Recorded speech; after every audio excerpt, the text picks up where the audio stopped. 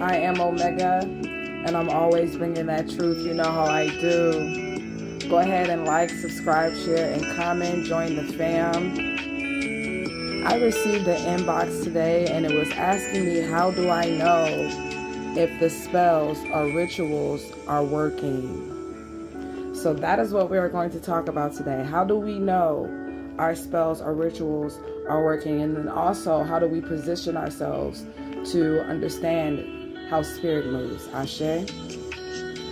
So the first thing is that you want to pay attention to your words if you're doing your own workings and pay attention to what you're asking for.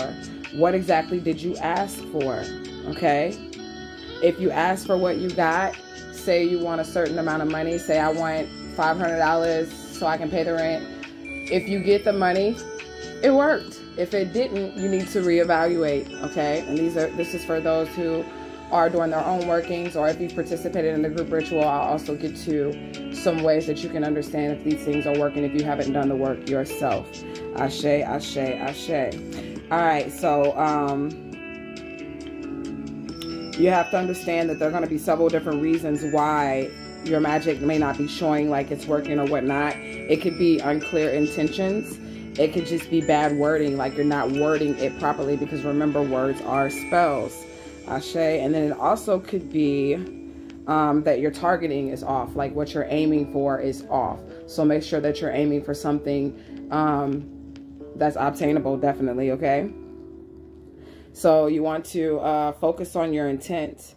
And you don't want to ask the spirit for money, like if your heart desires is love. So you want to make sure whatever you're asking for is something that you're really desiring at this moment or something that you're wanting to see into fruition at this point. And make sure that it's what you really desire. Like if you don't really want it it's not really going to come forth towards you okay? Because the universe does know the um you know the aspects of your soul and what you're asking okay and then also you're going to need to understand that some work is going to take longer than other works, okay? So magic is not always instantaneous. I know a lot of people are looking for that movie theater magic uh, you know, where there's sparks and there's fireworks and fairy godmother appears.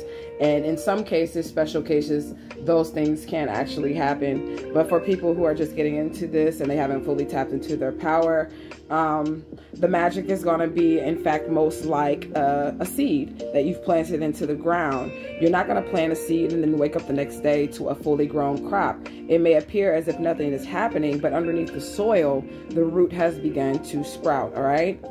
So, um, one of the things you want to do to be able to position yourself is to don't speak about the works that you have done or that you're doing. And if you are going to speak about the work that you're doing, you don't want to speak about the work that you're doing until the work is completed. Like you did something, you've got the results, they're right in front of you, they're tangible, you can touch the results if it was something that you were asking for that was tangible. And then you speak on the work if you would like, but it's not necessary to speak on it while you're doing it. And the reason why you don't want to speak on it while you're doing it because you're going to have the doubt of others, people who do not believe. You're going to have people that come in and and say you're crazy. Why are you doing this? This isn't going to work. This isn't logical. But when you're dealing with things of a spiritual uh, realm, then of course it's not going to be logical to everyone what you're doing, okay?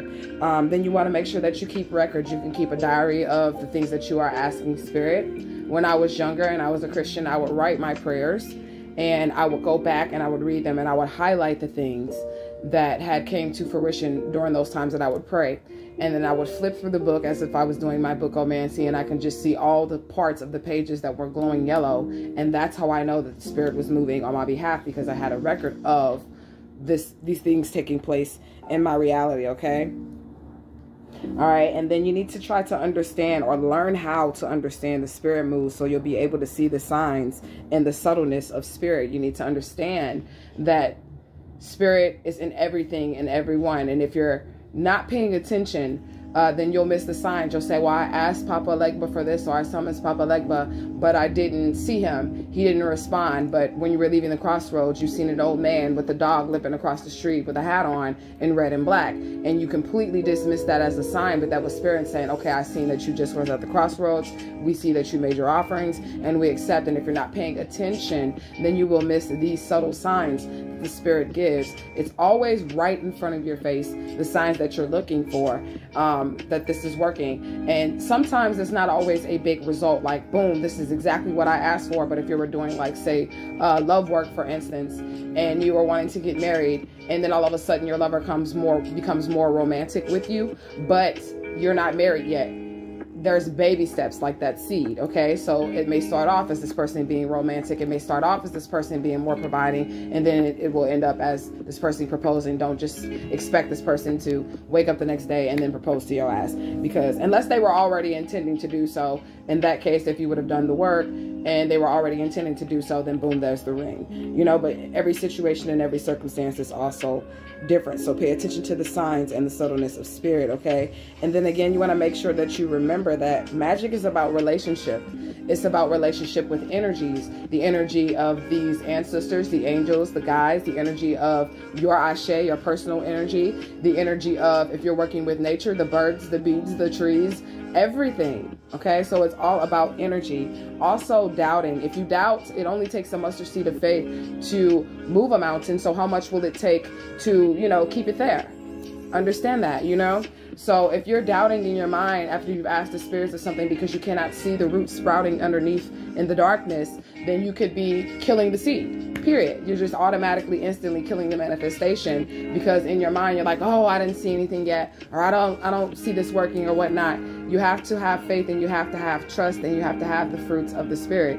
So I think we'll speak about the fruits of the spirit here soon. Um, but this is going to be my short video on how you know if your magic or your spiritual workings or your ritualistic beliefs or whatnot are are working for you it's all going to play in together in divine timing and divine connections and divine signs from the spirit okay so keep your eyes open watch your 12 your 3 your 6 and your 9 as pastor willie williams would say all right i am omega and i am out this bitch. Ashe